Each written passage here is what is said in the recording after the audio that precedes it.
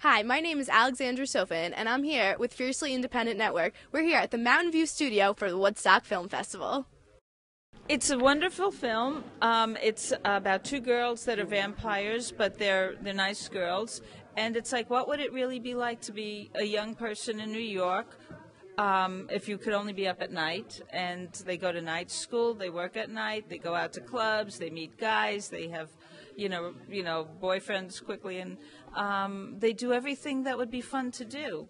Uh, and they, since they don't drink blood, they also go to a support group, Sanguines Anonymous, and they socialize with their other vampire friends who are nice. There are some instances in your screenplays where you do write the, the song. Song. into the screenplay. Like you say over, you know, montage over this particular song. Like Yeah. it's a critical Well, part it's, of the part of You're writing. Sing- part of the creative process Yeah. and making it really great. And unfortunately, this is the thing that's getting squeezed along with the budgets is the craft. And this is really part of the craft of Because it. Because the And- music industry is losing money with people like just, you know, the internet and, you know, all the file sharing and all of that. So they go, where can we still make money?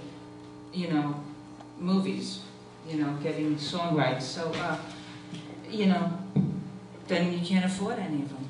So tell us, what was the process of writing music for this film? Well, um, being that I've written um, other films for Amy Heckerling regarding uh, Clueless and Look Who's Talking and stuff like that, um, her process is to really get into the characters' hearts and really find what that is, and then also use all of her interpretations of. Um, uh, you know, German filmmakers from the 20s, the 30s, and all these different things, and trying to make an amalgam of something that really works, you know, and speaks to the film. Yeah, we're having a lot of fun. We're meeting great people, and the movies are wonderful. And how is it uh, knowing that your daughter's music is going to be in the movie?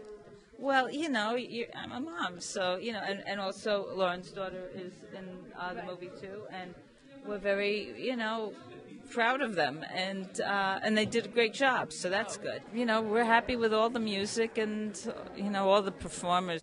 Stay tuned for more from the Woodstock Film Festival.